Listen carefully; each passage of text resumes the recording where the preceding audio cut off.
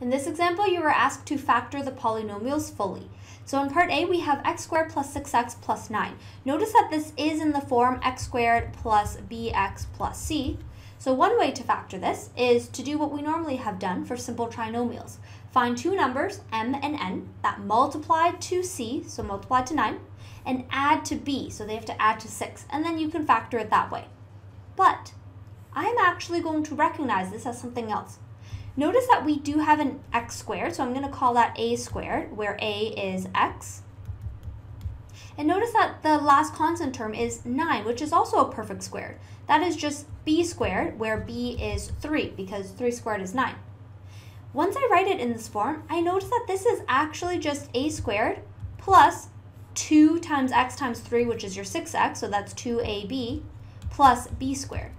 So instead of factoring this like a simple trinomial, we could recognize this as a perfect square trinomial.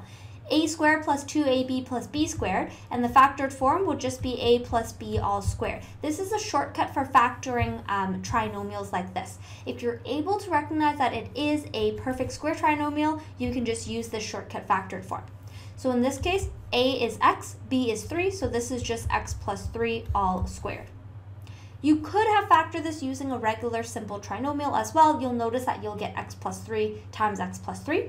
And I'll leave it as an exercise for you to do the check. If you multiply x plus 3 times x plus 3, you will end up back at x squared plus 6x plus 9.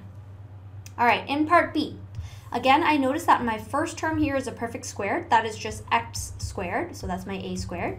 And I notice that my constant term is 4 squared, which is 16. So I have a b squared. So I also seem to have a perfect square trinomial. Let's do a confirmation. What is this term in the middle in relation to a and b? Well, there's an x and there's a 4, but it's negative 8, which is double of 4. So this is actually negative 2ab. So whenever I have a squared minus 2ab plus b squared, the shortcut for factoring this is going to be a minus b all squared.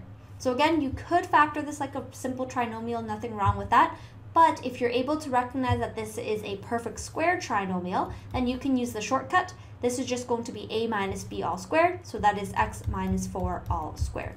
And again, I'll leave it as an exercise. Feel free to expand and simplify, and you will end up back at the original trinomial.